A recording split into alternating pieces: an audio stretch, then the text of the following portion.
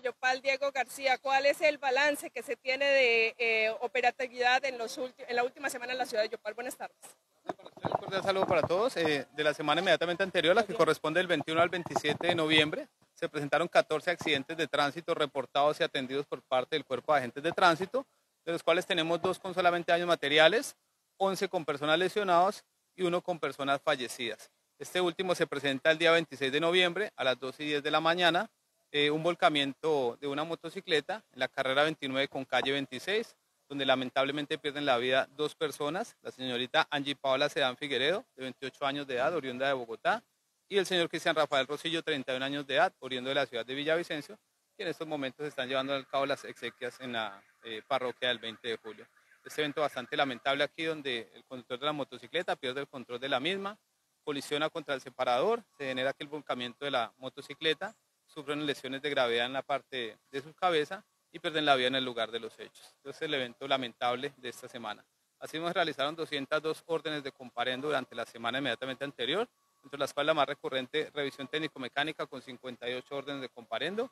Se ha notado bastante, eh, digamos, eh, parte de la comunidad no sacar este documento, no sacar la revisión técnico-mecánica. Asimismo, mal estacionamiento, 31 órdenes de comparendo, no tener licencia de conducción, 22 comparendos, y un conductor bajo efectos del alcohol que fue sancionado la semana inmediatamente anterior. Son los eventos de movilidad y siniestralidad vial que se presentaban la semana inmediatamente anterior.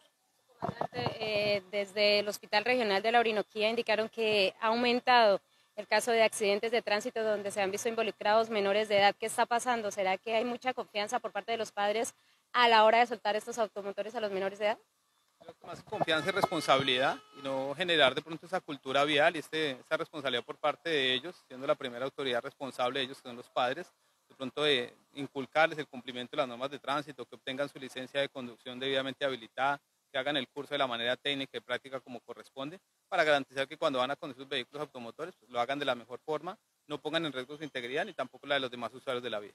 Se está la gente relajando, algunos ciudadanos, en el tema de la revisión tecnomecánica, que usted señala que hay mucho comparendo por ese, en ese sentido.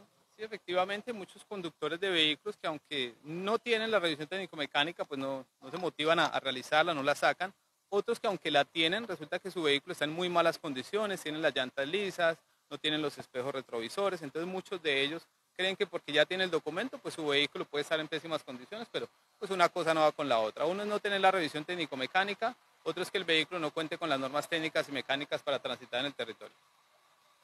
En el tema de los accidentes que nos mencionó que se presentaron durante el fin de semana, cuáles son esos factores que han influido para que pues, se presenten en el caso, eh, digamos, de los eh, estados, los automotores, quizás la pericia a la hora de conducir o el estado de las vías. ¿Cuál de estos tres factores son los que más persisten en estos siniestros viales? En el caso de los siniestros viales hay tres factores que me determinan un evento, uno que es el factor humano, otro que es el factor infraestructura vial y otro que es el factor mecánico. Aquí el más dominante es el factor humano, una de las principales causas es el desconocimiento de las normas de tránsito, otra de ellas es la impericia en la conducción, muchos conductores no están habilitados ni capacitados para ejercer esta actividad tan riesgosa la que realmente se, se presenta en nuestro país, porque según la Organización Mundial de la Salud es catalogada como una organización de alto riesgo.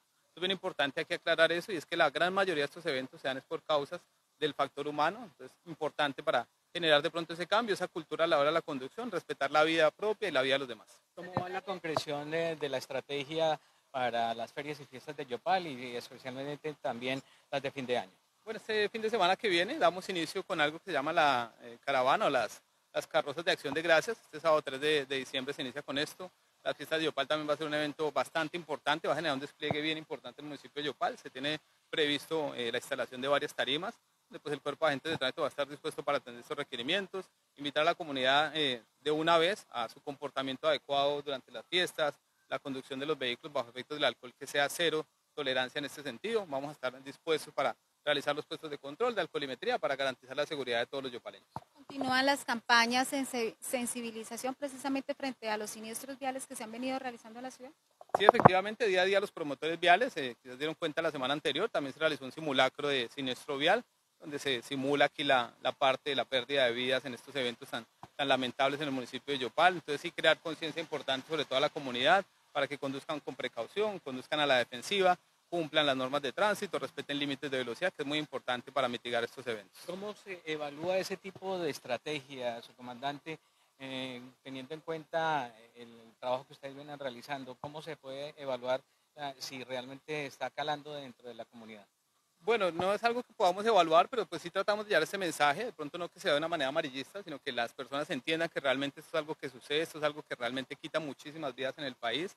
Yopal eh, no es un secreto que es una de las ciudades que más índices de siniestralidad vial presenta por 100.000 habitantes, entonces es bien importante cambiar de pronto esa perspectiva que tiene el resto del país sobre Yopal en cuanto a las imprudencias, la conducción de los vehículos, y esto se genera con educación, con controles y también con parte de la comunidad que pongan de su parte y cambien un poco la, la mentalidad de lo que es la conducción de los vehículos. ¿Ha venido realizando algunas actividades pedagógicas o de ornato y embellecimiento también algunos infractores de las normas de tránsito? No, esa jornada de ornato y embellecimiento que se hizo fue liderada por el señor alcalde en conmemoración de las eh, fiestas que vienen del municipio de Yopal. Entonces todas las secretarías del municipio estuvieron desplegadas en diferentes puntos del municipio de Yopal pero con infractores pues realmente yo evito mucho hacer este tipo de actividades, realmente porque esto se presta de pronto para malos entendidos con ellos. Entonces, si realmente pues, la parte de la educación o la parte de los controles para los infractores de las normas de tránsito.